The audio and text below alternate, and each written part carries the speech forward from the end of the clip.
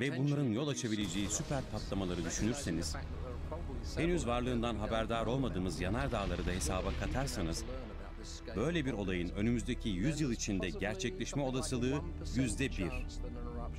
Bu da oldukça yüksek bir olasılık. Bu olasılık bilim insanlarının böyle bir felaket üzerine uluslararası tartışmalar başlatmasına yetecek kadar yüksek.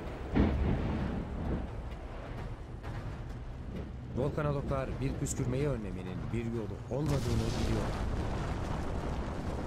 Bu nedenle geçmişte olanlardan ders alıyor ve öğrendiklerini insanlığı geleceğe hazırlamakta bulunuyor.